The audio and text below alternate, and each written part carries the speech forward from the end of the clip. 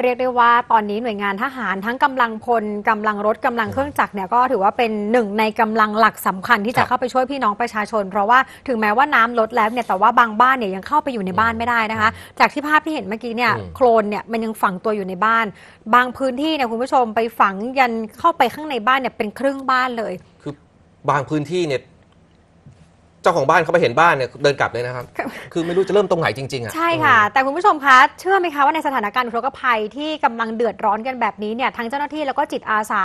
ที่มุ่งให้ความช่วยเหลือผู้ประสบภัย ก็ยังมีกลุ่มคนกลุ่มหนึ่งค่ะ เป็นกลุ่มขบวนการการค้ายาตามแนวชายแดนเนี่ยใช้โอกาสนี้แหละในการลำเลียงยาเสพติดเข้าไทย แต่ว่าโชคดีที่เจ้าหน้าที่เนี่ยสามารถสกัดจับแล้วก็ยึดยาบ้าไว้ได้ ทั้งนี้ทั้งนั้นเนี่ยทำให้เจ้าหน้าที่เนี่ยทำงานหนักมากครับขึ้นด้วยนะคะ ก็ปกติแล้วเนี่ยขาประจำอยู่อะไรพวกเนี้ยอืมอืมค่ะอะ ไปดูกองร้อยชุดเฉพาะกิจทหารพราน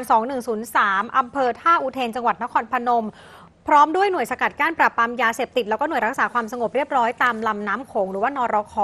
ก็แถลงการเข้าสกัดกั้นแล้วก็ตรวจยึดยาเสพติดในพื้นที่ชายแดนติดแม่น้ำโขงพฤติกรรมของขบวนการการค้ายาเสพติดนี้เนี่ยก็ใช้จังหวะที่ฉวยโอกาสที่ระดับน้ำโขงเนี่ย สูงปริ่มตลิ่ง เพื่อเป็นการที่ว่าเทียบเรือได้ง่ายขึ้น ลักลอบนำยาเสพติดจากสปปลาว บรรจุใส่กระสอบปุ๋ยใส่เรือหางยาว เอามาพักไว้ที่บ้านหาดสายเพตำบลหนองเทาอำเภอท่าอุเทนจังหวัดนครพนม เพื่อเป็นการเตรียมส่งต่อไปกระจายยาเสพติดเข้าในพื้นที่ชั้นใน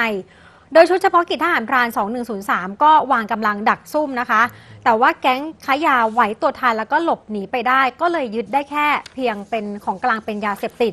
แต่เชื่อว่ามีชาวลาวเป็นผู้รับจ้างขนยาเสพติดเข้ามาค่ะ ซึ่งผลจากการตรวจสอบนะคะ ภายในกระสอบปุ๋ยที่พบเนี่ยเป็นแพ็กเกจห่อกันชื้น นับนับรวมแล้วได้ 39 มัด ยาบ้าประมาณ 77,900 เม็ดแล้วก็มีตราอักษรสีน้ำเงิน Y1 โดยลักษณะยาบ้าแบบนี้เนี่ยกำลังระบาดในพื้นที่ชายแดนอีสาน มีราคาซื้อขายประมาณเม็ดละ 5 บาทถึงอืม10 บาทครับโอ้โห ราคาถูกมากนะคะ ก็เลยทำให้เป็นที่ต้องการ ทางด้านของนาวาเอกวันนะเกื้อทิพย์ผู้บัญชาการหน่วยเรือรักษาความสงบเรียบร้อยตามลำน้ำโขงเขตนครพนมก็บอกว่า สถานการณ์ที่ระดับน้ำ โขงเนี่ยเพิ่มสูงขึ้นแบบนี้ก็ทำให้เอื้อประโยชน์กับขบวนการการค้ายาเสพติดในพื้นที่ชายแดน เพราะอย่างที่บอกไปเทียบเรือได้ง่ายอืมครับก็เลยจะทำให้ขนส่งยาเสพติดได้ง่ายขึ้นค่ะ ก็ทั้งหมดเป็นภาพรวมเกี่ยวกับสถานการณ์น้ำนะครับเดี๋ยว